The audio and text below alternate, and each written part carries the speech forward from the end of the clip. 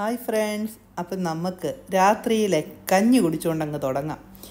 കഞ്ഞിക്ക് നിങ്ങൾ അത്ഭുതപ്പെടേണ്ട കഞ്ഞിക്കകത്ത് പയറിട്ടാണ് വേവിച്ചത്. വളരെ സിമ്പിളായിട്ടുള്ള ഒരു റെസിപ്പിയാണ് അതായത് കഞ്ഞിക്കകത്ത് തലേദിവസം നമ്മൾ കുതിർത്ത് വെച്ച ചെറുപയറിടുക കഞ്ഞിയും പയറും കൂടി ഒരുമിച്ചിട്ടടിക്കുക ആ കൂട്ടത്തിൽ തന്നെ നമുക്ക് വെളുത്തുള്ളിയും കുറച്ച് ചെറിയുള്ളിയൊക്കെ ആ കഞ്ഞിക്കകത്തിട്ട് ഇങ്ങനെ നോർമലായിട്ട് നമ്മൾ കഞ്ഞി ഉണ്ടാക്കുകയല്ലേ അതുപോലെ ആക്കിയെടുക്കുക.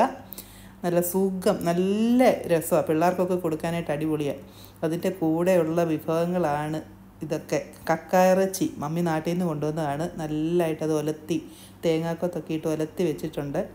ഇത് മമ്മി ഇവിടെ വന്നു കഴിഞ്ഞിട്ട് ഈന്തപ്പഴവും നാരങ്ങയും കൂടെ അച്ചാറിട്ടതാണ്. പിന്നെ ഉച്ചയ്ക്ക് ഒത്തെ മട്ടൻ ബിരിയാണിയാണ് ഇത്. അപ്പോൾ ഒരാൾ അത് കഴിച്ചില്ലായിരുന്നു. അതിന് വേണ്ടിയിട്ട് പുള്ളിക്ക് വൈകിട്ട് അത് കൊടുത്തതാണ്. പിന്നെ ആദ്യം കാണിച്ചത് കൂർക്കയാണ് നല്ല ഒന്നാന്തരം കൂർക്ക മെഴുക്ക് വരട്ടി. അതിന്റെ അകത്ത് ഇഷ്ടം പോലെ തേങ്ങാക്കൊത്തൊക്കെ വാരി വിതറിയിട്ടുണ്ട്. മമ്മി തേങ്ങാക്കൊത്തൊക്കെ കൊണ്ടുവന്നായിരുന്നു. അപ്പം അതിന്റെ ആഡംബരങ്ങളൊക്കെയാണ്. അപ്പോൾ എല്ലാവർക്കും നല്ല ചൂട് കഞ്ഞി ഇത് വിളമ്പി നിരത്തി വെച്ചിട്ടുണ്ട്.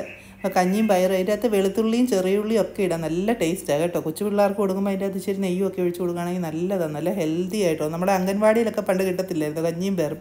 സെയിം സംഭവമാണ്. ഞങ്ങളെല്ലാം വെയിറ്റിംഗ് ആണ് കഴിക്കാൻ. അപ്പോൾ ഇത്രയേ ഉള്ളൂ. ഒരു വളരെ ചെറിയൊരു video thank for watching bye